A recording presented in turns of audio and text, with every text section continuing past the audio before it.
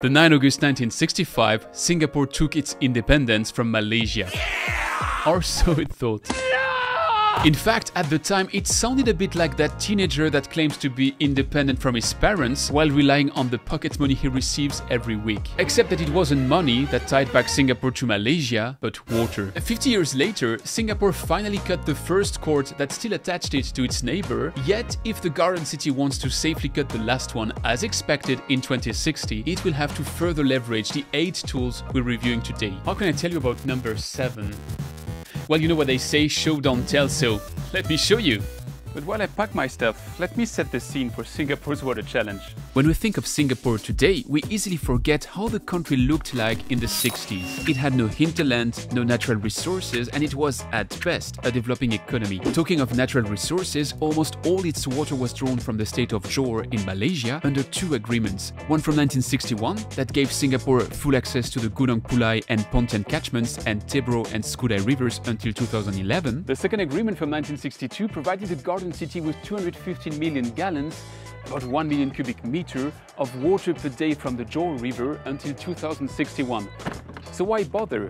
Well, for a simple reason, synthesized in this quote from Tunku Abdul Rahman, Malaysia's Prime Minister in 1965. If Singapore's foreign policy is prejudicial to Malaysia's interests, we could always bring pressure to bear on them by threatening to turn off the water in Johor. Hence, from day one as an independent country, Singapore had a North Star reaching water autonomy as fast as possible, which all started with the tool number one, water and wastewater for all. Tap water was already well advanced in Singapore in the 60s with an estimated 80% connection rate and a 24-7 delivery. Those are actually the perks of being a city-state, even if still an economic dwarf at the time. But sewage connection wasn't at the same level with less than 45% of the household's wastewater that was collected. Worse, many pig and poultry farms were also discharging directly into river catchments, leading to poor quality surface water and water runoffs. Yet, Singapore had an ace up its sleeve with its Public Utility Board, nicknamed PUB. Founded in 1963, it proved over the past 60 years to be one of the most forward-looking utilities in the world, but we'll come back to that. PUB set itself at work and access to sewage services raised to 51% in 1970 and 75% in 1980. Finally, universal household coverage was reached in 1987. Treatment capacity doubled between 1960 and 1970 and doubled again over the next two decades. Meanwhile, the poultry and pig farms had been closed so that river and reservoir water reached good quality. By 1990, the water and wastewater infrastructure in the Garden City had been reaching the level you would expect in fully developed economies. But long before that, Singapore had been looking into the next steps with direct industrial reuse. Industrialization in Singapore started in the early 60s, essentially around the Jurong Industrial Estate, an area of about 140 million square meters located on the southwest coast. With activities like biscuit and chocolate factories up to pharmaceuticals and early electronics, the industrial park needed a lot of water to thrive. Hence, already in 1966, the city-state's government commissioned the Jurong Industrial Waterworks,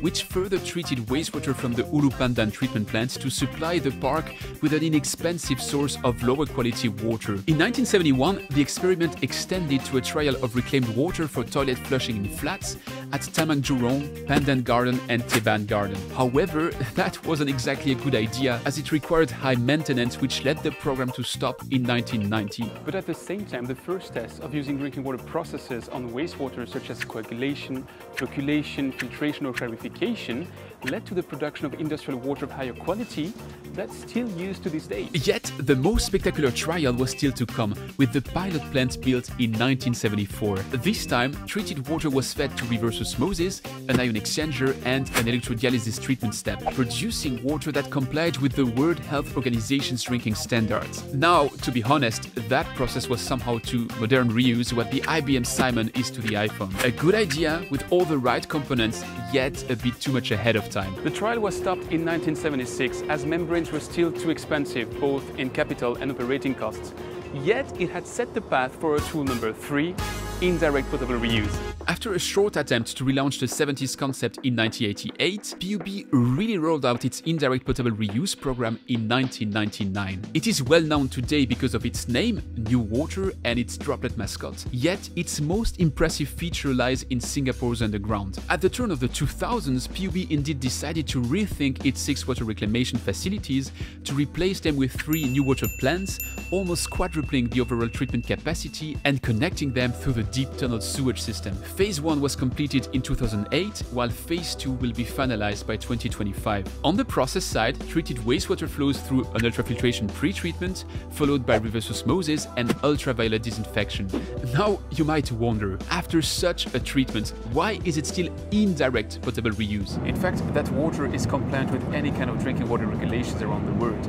Yet, there's a psychological aspect to factor in as soon as you consider reuse. Indeed, if treated wastewater is rejected into a river, we are all ready to drink water that's produced from that same river, assuming it's somewhere downstream. So Singapore applies that same principle by mixing NEWater into its freshwater reservoirs and treating it again to drinking water standards. Technically, it's overkill, yet to get everyone's buy-in, it's a must. Talking of people's buy-in, that leads us straight to tool number four, reducing water consumption. Since Singapore's independence, the country's population has been multiplied by three water use by 5, and GDP by 26. Which helps to finance all that infrastructure work. Yet, if the total water demand is expected to double again between now and 2060, it is first due to the further expansion of Singapore's industry. In the meantime, to strike a balance, PUB leads a wide array of saving water campaigns, ranging from automated meter reading all the way to school education through labeling and raising awareness. As a result, consumption per capita that had raised from 75 liters per person and day in 1965 to 1 165 liters per person and day in 2000 had since decreased again to reach 141 liters and an expected 130 liters by 2030. Let's do a short check here. After our four first tools, all of those combined should cover 55% of Singapore water needs by 2060. That's great, but it's still not sufficient for full sustainability and independence, and this is why the Garden City added a fifth tool in the toolbox, with desalination.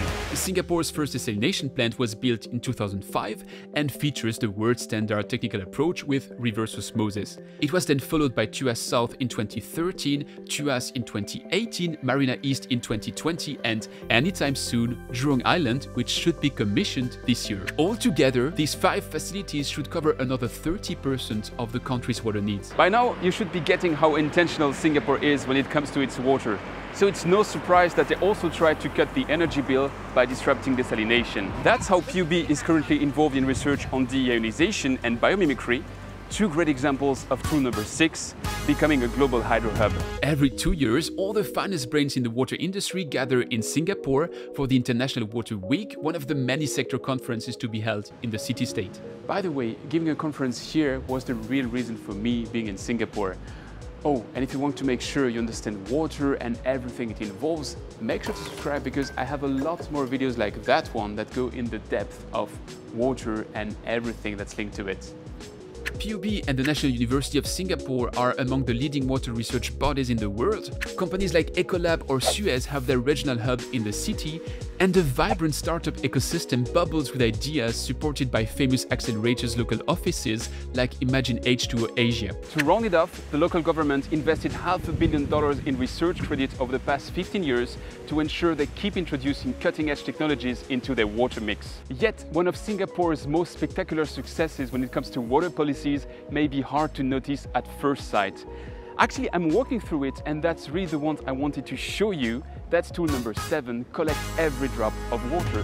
Back in 1965, only 11% of Singapore's 733 square kilometers were a water catchment area. So, despite 2,400 millimeters of rainfall per year, not much was collected and used. In an urbanized environment like the Garden City, nature needed a hand to optimize the natural water cycle's yield. This is why Singapore built its first water reservoirs in the 70s and kept extending the network until reaching 17 of them today, turning turning 90% of the country into a water catchment area. Everywhere around the city, a separate network collects rainwater to feed the reservoirs, which are then used for drinking water production. The one I'm walking through is probably the most famous one. It's called Marina Reservoir, and it was the vision of the first Prime Minister of Singapore, Lee Kuan Yew. And if you look around, you'll probably notice the tool 8 in action, the Active Beautiful Clean Waters program, or ABC Waters. That one is somehow the icing on the cake. Launched in 2006, it aims to further turn the garden city green and blue by integrating nature-based solutions into the overall water management scheme. As a result, water is kept on the surface whenever possible to improve its quality while enhancing the citizens' quality of life. And last but not least, it keeps every Singaporean in connection with water so that they never forget how central it is for the state's welfare. Because remember, it rains about 124 cubic meters of water per capita in Singapore, while the United Nations define extreme water scarcity as every place that's blessed with less than 500 cubic meters a year. Does this feel like a water scarce area? Probably a sign that they save water the right way. Want to do so too? Check this video. By the way, me being in Singapore